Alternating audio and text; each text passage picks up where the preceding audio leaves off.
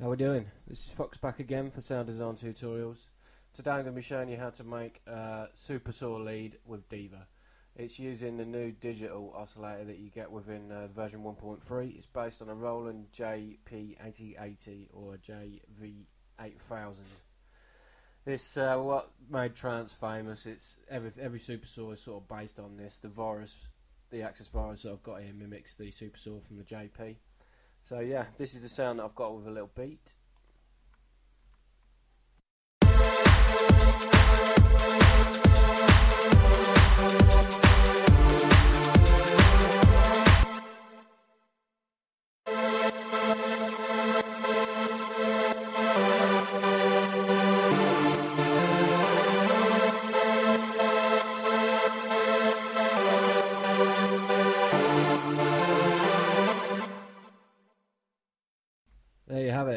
Rich, full super saw sound. I'm going to go ahead and initialize this. This is what you get when you start. It comes with a triple VCO and everything, so you get like a mini Moog. So what we want to do to start with, we want to change this to digital. We want to change this to a high pass uh, filter pre. I had it on.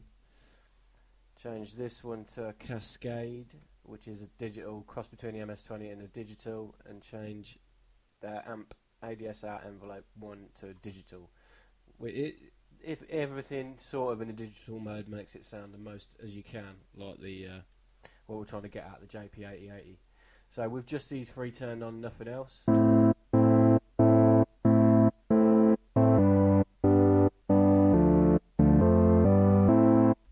First thing we do is back the cutoff right off on the filter so it's open pretty much to maximum.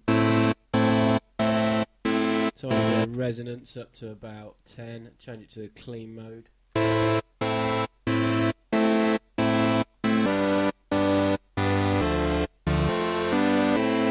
We're going to push oscillator 1 up one octave.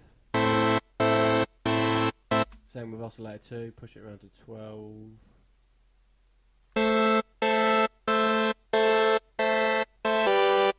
The multi of oscillator 1 around to about 80. Detune these to the left to about 38. I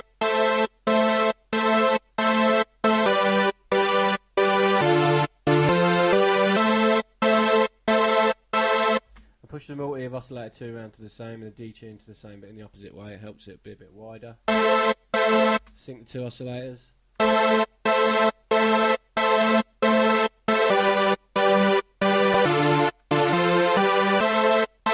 Change it to high quality. I'm going to click this multi-core button. Keep the accuracy on fast. You don't really need to go anything higher than that. We're going to change the stack to 2.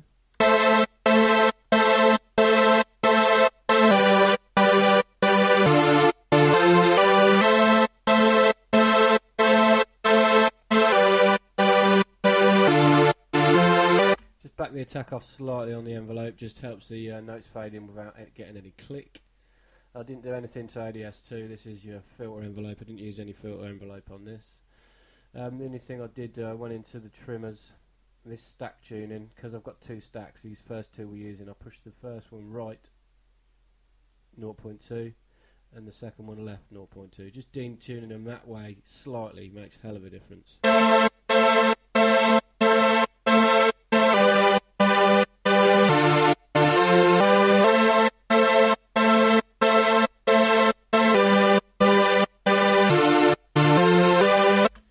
Just some simple effects to enhance the sound now. I used a delay on effect 1, turned it on.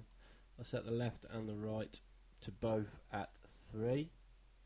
The dry I pulled back slightly from its original position.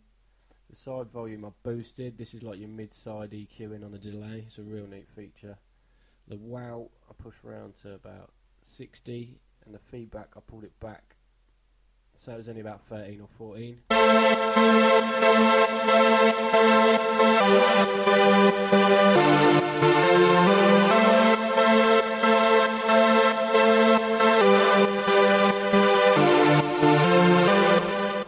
Effect 2, I was toying between a chorus and a, and a reverb, but the reverb worked better, which is this plate.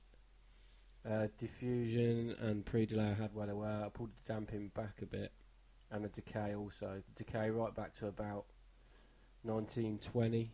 The size to about 100.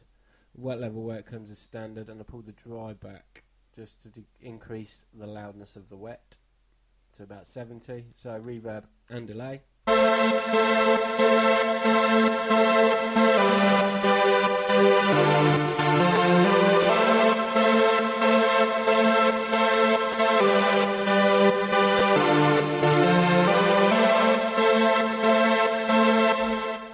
If you want to make it even rider, you can go crazy.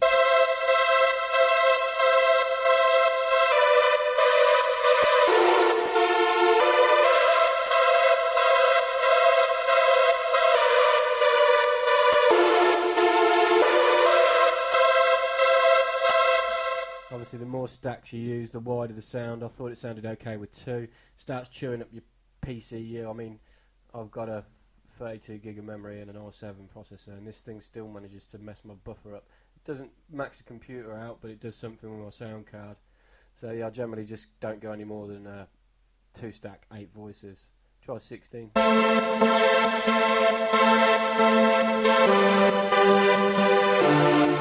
Bit too spacey again. Anything I did do is I changed in the trimmers section. I changed the analog to VCF reset.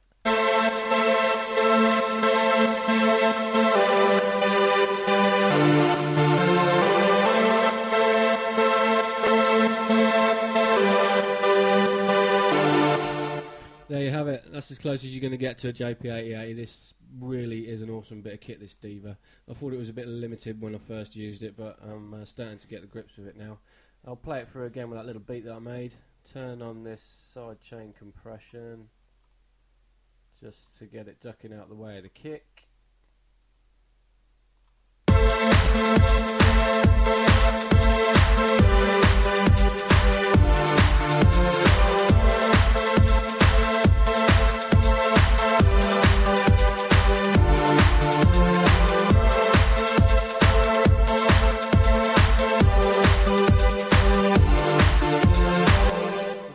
Bit of envelope. We'll pull the cutoff down, push the envelope up.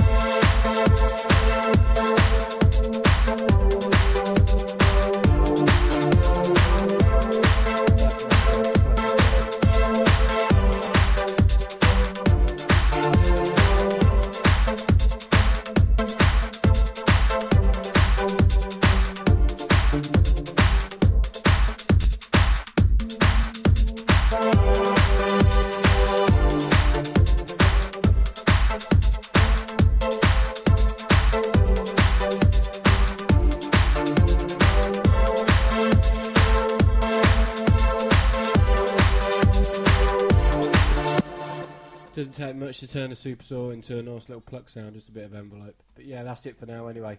That's how I would go about doing a super saw within Diva 1.3 using the new digital oscillator. Uh, as always, make sure you subscribe if you've enjoyed this or any more tutorials. Check me out on uh, Facebook and Google Plus. It's Sound Design Tutorials. Best way to get hold of me if you've got any questions or any requests is tweet me at Sound Design Tuts. Okay, thanks a lot. Cheers.